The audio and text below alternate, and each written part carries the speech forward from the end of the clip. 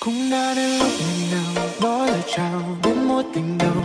Một cuốn sách ngọt ngào mà đôi ta từng viết em như bông hoa mặt trời, có nụ cười đốt cháy lòng người. Có lẽ em là thanh xuân của tôi. Từ ngày mai tôi phải đi, hẹn gặp em trong một khi khác. Kỷ niệm đôi ta đành ghi nhớ trong tim.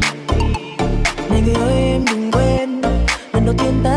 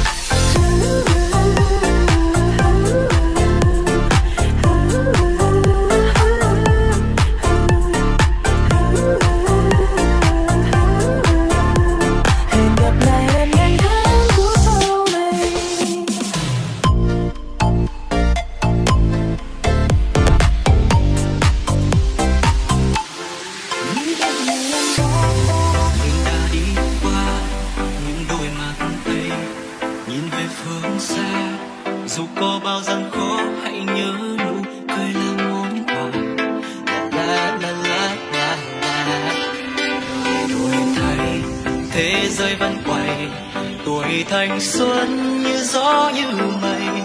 Cười thật tươi lên khi đôi môi ta còn đó mong năm tháng ấy quay lại được không những ngày năm đó ta đã cười thật tươi. Mười tám đôi môi